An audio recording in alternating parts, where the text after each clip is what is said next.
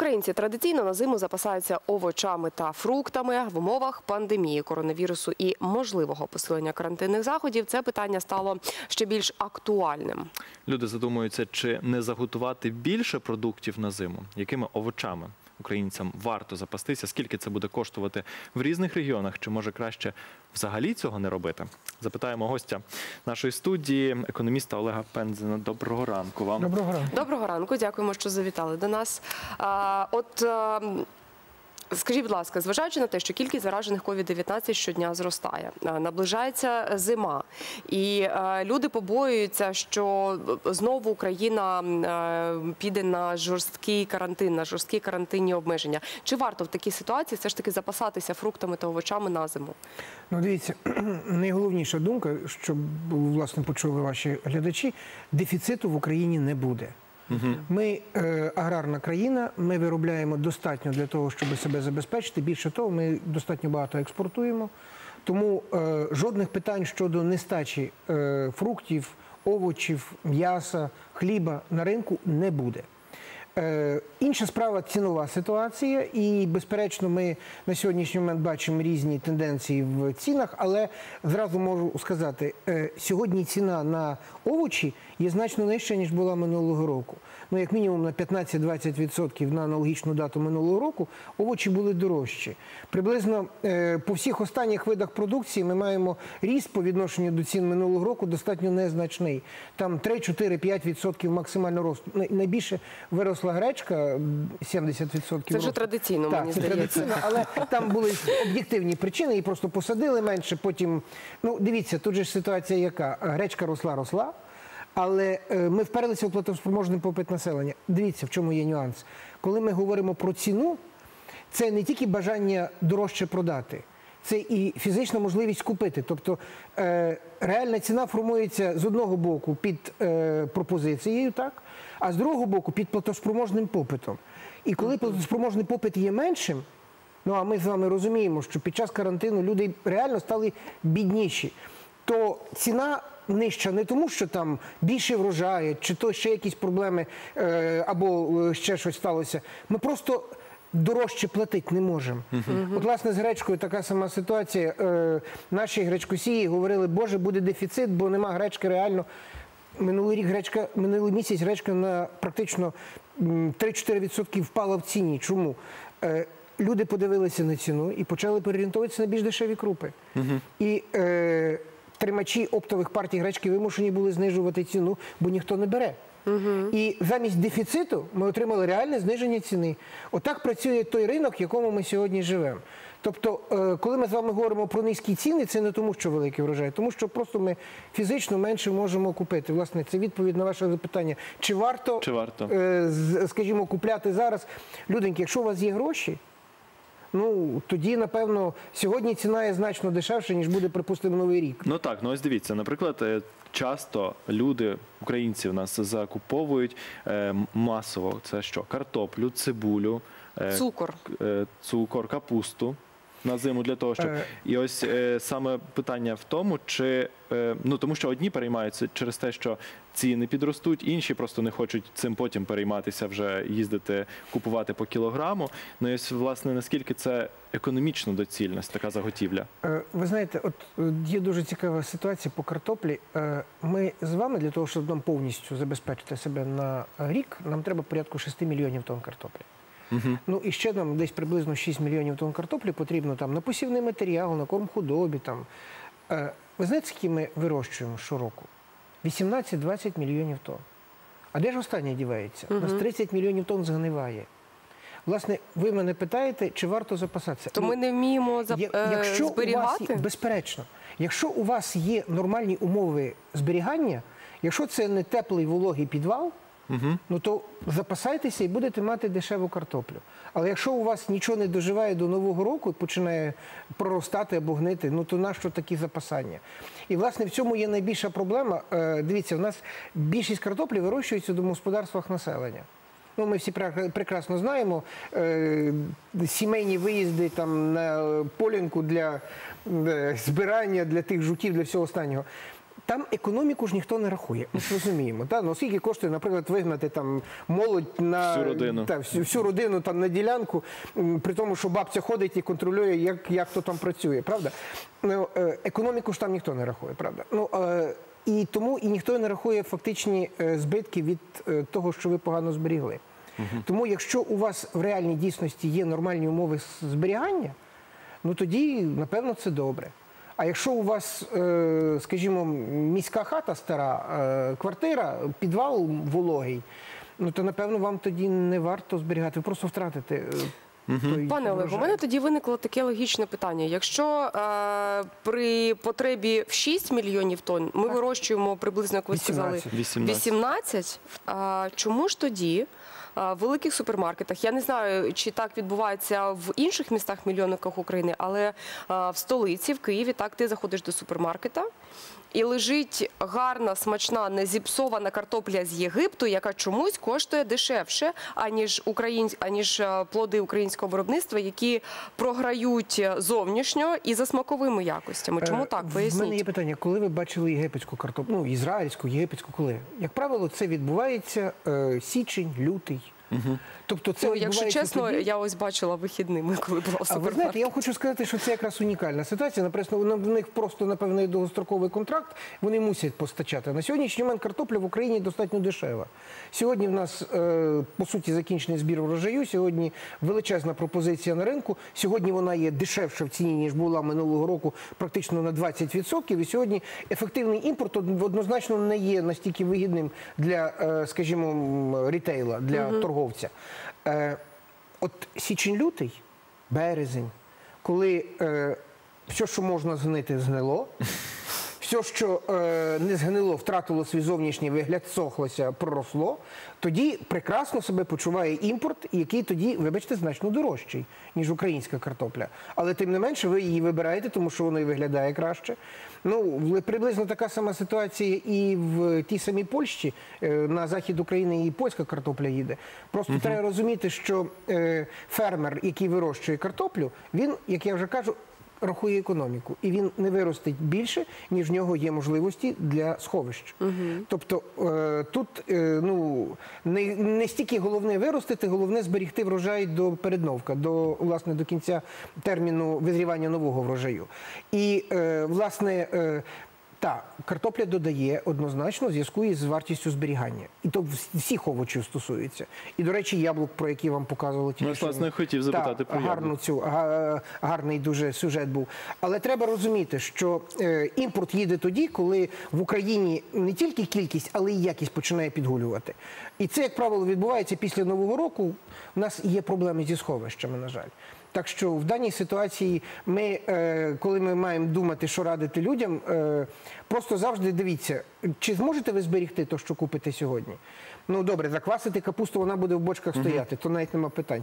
Але картоплю ви ж не заквасите. Тому думайте, чи збережете ви ту картоплю, чи капусту живу збережете. А як взагалі е, ваше ставлення до консервації, консервування овочей? Ой, то смачно, слухайте, направду. Ні, ну що ви тішитесь так є. Ні, Ну, ми тішимося з того, що ви гарно ми теж погоджуємося. Е, Дивіться, це в українській традиції завжди мати е, в сховищах, в підвалі, там, е, в льоху, там, ну, велику, запа- великі запаси консервації. Але ну, от я, приклад, по родині знаю, в нас, наприклад, є там варення, які там стоять по 5-6 років, їх просто ніхто не з'їдає. Мене Не така сама встигають. Не встигають з'їсти та до передновка. Але тим не менше, е, всі це роблять, і це в українській традиції. Хоча зараз, напевно, ті люди, що е, живуть в великих містах-мільйонниках і які живуть в нових квартирах, де немає підвалів, там є внизу парковка, гараж, а не підвал.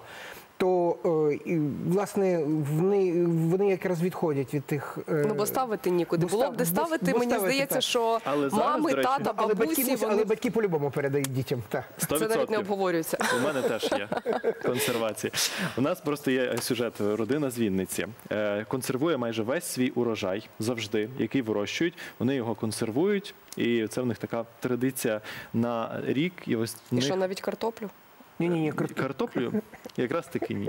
Бо я знаю, що вони німці, консервують? німці квасять чи якось також маринують картоплю. Може В прийняти діжках? їхній Ну, досвід. Про яблука я чув в мочені, то то смачно. Мочені це смачне То яблуко. смачно, а ось так. А картопля. з картоплею я щось. Ну, ось картоплю вони не, мар- не маринують, картоплю вони не консервують, але що саме вони консервують і як використовують потім свої консервації протягом року, давайте подивимось.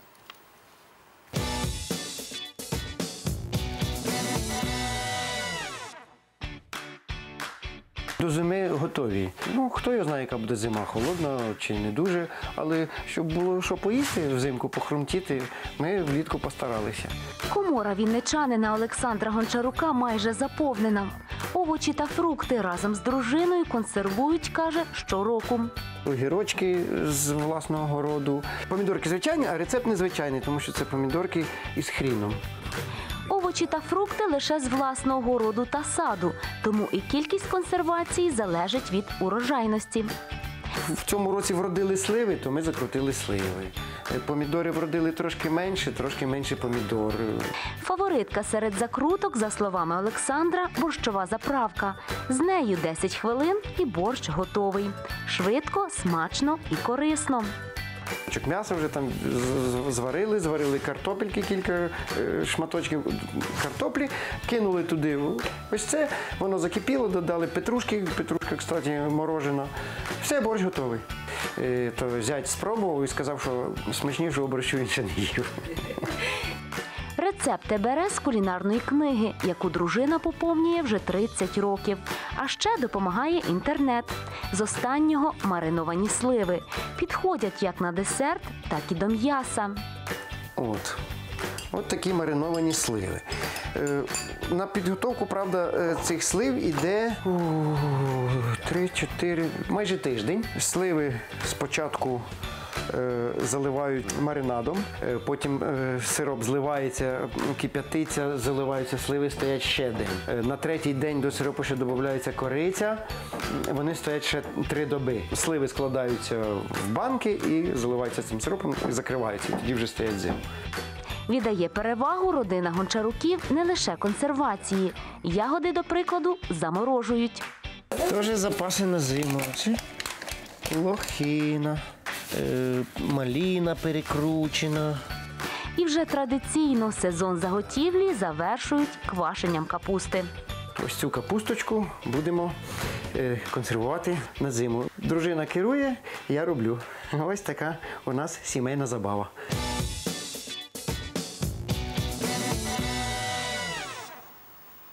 От ми тільки що побачили на прикладі однієї родини з Вінниці, як вони готуються до зими. Що ви скажете, е, пане Олег, це е, ефективно так заготовлювати все до зими? Чи немає сенсу? З економічної точки зору. дивіться, ну Пораху... е, Давайте порахуємо економіку. Е, Ну, скажімо, чисто комфортної, ну от весь цей обсяг е, закруток, напевно, де треба десь зберігати, правда? Якщо квартира малогабаритна, е, ну тоді е, одну кімнату ви чітко виділяєте для складу готової продукції. Ну, тобто ми маємо розуміти, що це ж треба десь е, тримати до, до, до весни, по суті. А коли ми з вами говоримо про економіку, ну от в даній ситуації, бачите, ми ж е, почули, що це є їх врожай. Тобто вони нічого не витрачають на е, придбання цього цього продукту. Вони впевнені в його якості, впевнені, що там немає нітратів, якихось е, ну хімікатів. Так, але люди пропрацювали все літо для того, щоб просто їсти взимку. Ну, може, вони готуються до чистого натурального господарства. Може, вони якраз в зв'язку з карантином повністю в, ідуть в глибоке занурення і Все може бути. Але Добре, давайте- виглядає воно смачно. Ну, виглядає Чи смачно. Безперечно, Олександр особливо вже там голодний. помідорчики такі гарні. Як все, все, всі вже голодні, все. А, так, а, а, давайте. Дізнаємося, як готуються до зими з продуктової точки зору в Одесі. З нами на прямому зв'язку наша колега з Одеси Лейла Церковнюк. Якраз в неї запитаємо, що е, відбувається з ціном на овочі та фрукти в регіоні, чи люди консервують, чи закуповують мішками, готуючись до зимових холодів. Лейло, доброго ранку. Доброго ранку. Так, дійсно, одесити вже готуються до зими. І нас ми вчора були на привозі. Люди купують е, великими мішками також е, продукти, овочі особливо. Скажу, що е, вчора ціни були такі, що на баклажани, які в Одесі називають синенькі, ціни були від 8 до 20 гривень. Також купували вчора люди помідори, огірки, зелень різноманітну. Скажу також, що в Одесі користується популярністю риба, адже це морське місто. Е, Зазначу, що вчора е, ціни на рибу були на оселедець близько 40 гривень за штуку. А на тюльку, яку з якої в Одесі роблять биточки дуже часто, е, була ціна близько. Е, 50-60 гривень за кілограм. Значу, що Одеса це взагалі унікальне місто з точку з точки зору кулінарії. Саме тут у нас наше місто, е, воно воно одне з небагатьох, яке кухня якої названа за містом. Є ще віденська і одеська. Одеська кухня відрізняється тим, що вона зберігає делікатний смак продуктів. Е, Люди рідко користуються е, якимись радикальними спеціями для того, щоб зберегти продукт, основний інгредієнт, його розкрити його смак. Зазначу, користується популярністю в Одесі саме риба, як я до цього казала. Бесарабська кухня. Вона е, там часто використовують м'ясо і е, роблять наприклад з м'яса е, каварму. Це така жир, жирна жирна страва. Також полюбляють в Бесарабії в Одеській області куштувати бринзу і, і інші кисломолочні продукти. Ну от і вчора ми спілкувалися з одеситами. Вони нам розказали, що дійсно готуються до зими.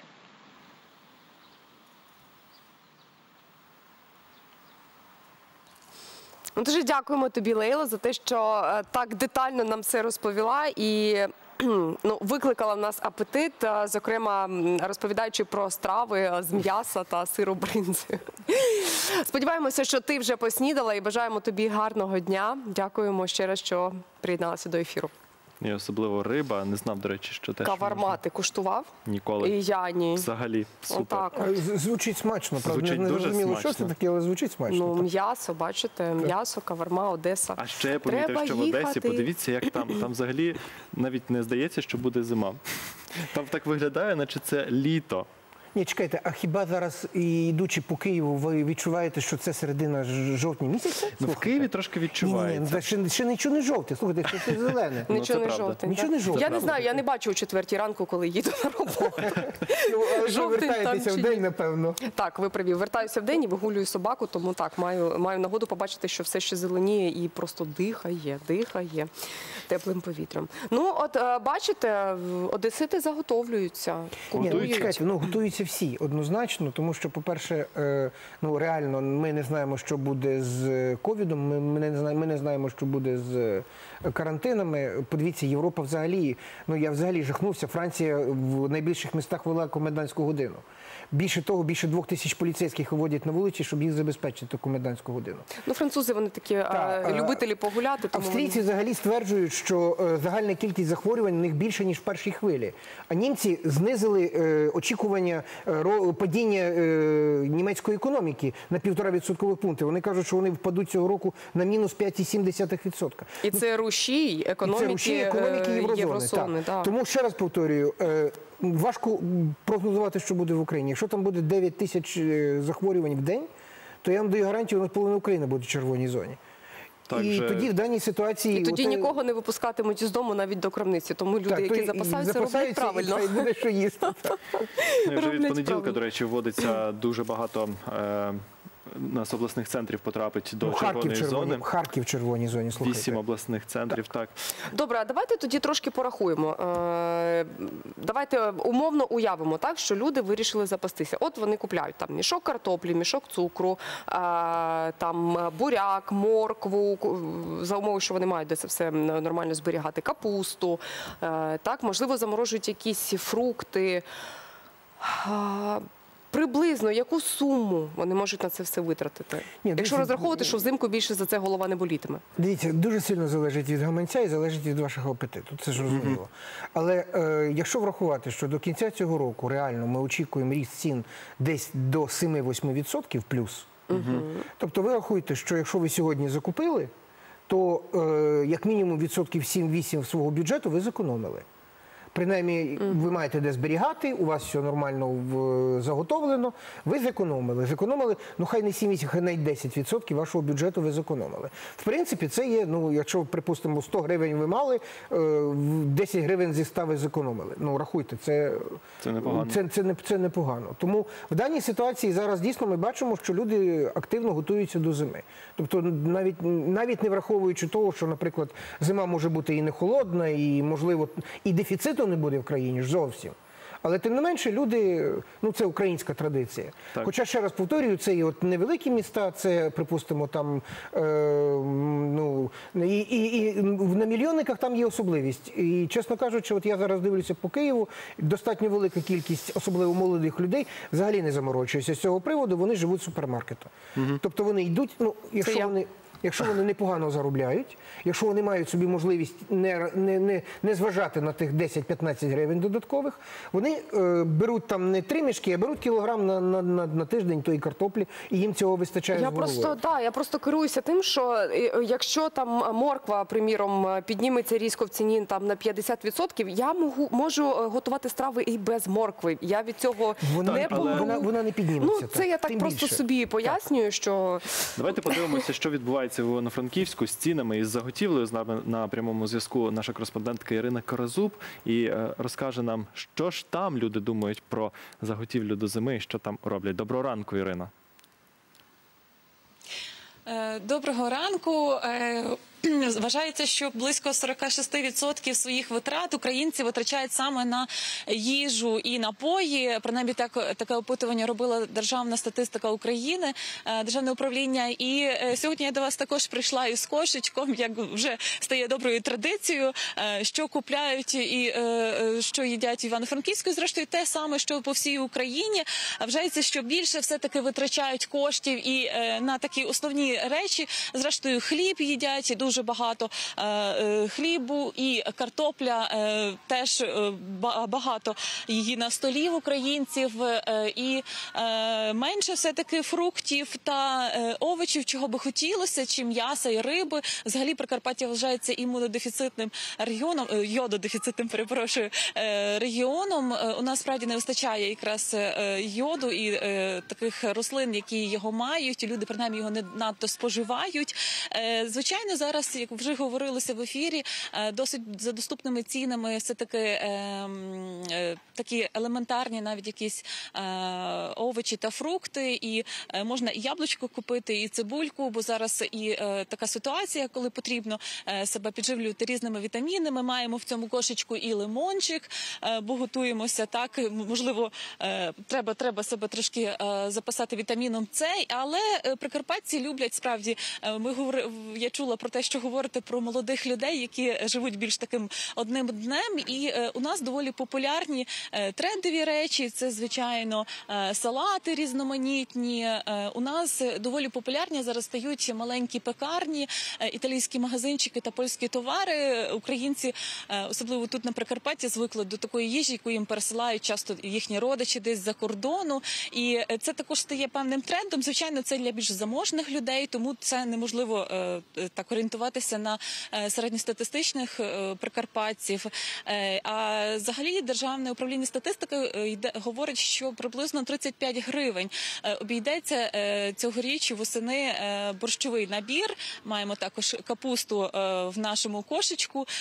І зараз саме той момент, той час, коли її можна купити дешево і заготувати на зиму, зробити квашенину. Але звичайно на Прикарпаття приїжджають за певним таким.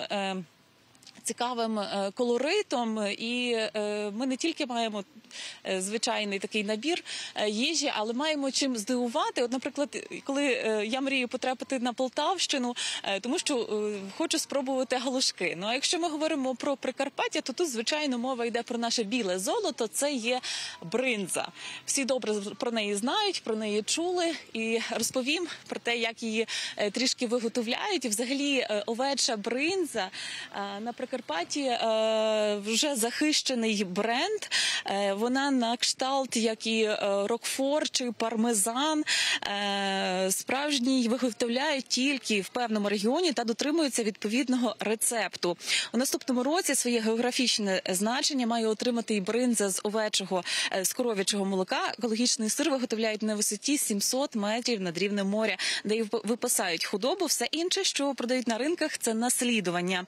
До слова, мені також доводилось куштувати бринзу, яку виготовляють одразу на полонині. Окрім неї, вівчарі пригостили сиром вурдою та будзом. Це теж із ексклюзивів. До сиру кулеша або ж банош, страва з кукурудзяної з кукурудзи популярна е, в гірському регіоні, е, бо рослина тут може рости на відміну від пшениці. Тому з кукурудзяного борошна роблять і голубці, е, маленькі, як пальчики, і звичайно шкварками. Найбой, на вас пригостять бульб'яниками, клецками. А якщо навесні, то хамулянкою. Це борщ з листя молоденького бурячка. Е, Цьогоріч навіть створили спеціальну дорогу е, смаку на Прикарпатті, тобто е, для того, щоб представити такий гастрономічний рай Покуття, Гуцульщини та Бойківщини. Тобто, вже ви матимете певну мапу, за якою можете мандрувати, дізнаватися нові смаки, нові традиції, нові страви. І, до речі, кажуть, що бойки варили каміння. Ну як каміння, кремній. Знали, що е, він може бути корисним і. е, Такий, такий шлях, е, ну таке використовували здавна. Студія. Дякую, Ірина. Е, Як наш гість зауважив пан Олег, е, що нам тут потрібно давати їжу просто в студії, тому що неможливо на це спокійно дивитися, на те, що на ті кадри, які ми щойно бачили, і втриматися просто, просто неможливо. Я просто вже сам зголоднів, насправді, тільки дивлячись на ось цю всю смакоту. Тому сподіваюся, що ти, Ірино, вже поснідала сьогодні, розповідаючи про такі смаколики. Снідала? На жаль, ні. На жаль, на жаль, ні. Е, тільки кавувала. Ну тоді я тобі Але в мене рекомендую. тут такий набір. Тоді я тобі рекомендую ось цим набором і перекусити одразу, поснідати, особливо тою бринзою, яку ти нам так апетитно Красиво демонструвала. Дякую тобі, Ірина. Гарного дня. Е, Пане Олег, в нас студії Олег е, Пензен, економіст. Ми говоримо про споживчий кошик та про ціноутворення на продукти і товари. Скажіть, будь ласка, наша кореспондентка Ірина Каразуб тільки що сказала, що 46% е, своїх доходів українці витрачають на їжу. Ви відкоментували, що більше. Яку ви називаєте цифру? Ну, дивіться, порядку 48, ну, в залежності по різних розрахунках. Власне, тут е, цікавіше інше. Е, тут цікавіше м, подивитися, скільки наші з вами сусіди витрачають для порівняння. Ну, дивіться, е, Ні- ніколи не так, цікавилась ось цим європейська сім'я витрачає від 12 до 18% свого доходу. Американці 6%. У білоруси 31-32%. Українці, на жаль, от під 50%. Тобто ми працюємо заради, Причому, заради так, свого причому дивіться, в чому чи є що? проблема. Проблема в тому, що є що це є середня цифра. Тобто є і більші. Тобто, е, розумієте, от ви е, сьогодні вже згадували про ФАО. Та? Це ФАО Міжнародна організація продовольства. І вона виводить ознаки продовольчої безпеки. Є там така є цікава річ. І одним з елементів цієї продовольчої безпеки є доступність продуктів харчування. Тобто вони можуть бути на ринку, а ви фізично будете негодні їх купити. І е, ознакою продовольчої е, небезпеки є тоді, коли у вас в бюджеті витрати на харчі перевищують 60%. Так от, коли ми з вами беремо малозабезпечені верстви населення, на жаль, в нас є такі люди, які дійсно при наявності, від, при повній відсутності дефіциту, не можуть собі дозволити те, що вони хочуть купити. А в чому, власне, є питання? Питання, розумієте, тут, от ми з вами говоримо весь час ціни, ціни, ціни. Ну не в цінах питання. Питання в співвідношенні цін і ваших доходів. У нас з вами сьогодні європейські ціни на продукти харчування. Причому я вам хочу сказати, Навіть що вищі часом.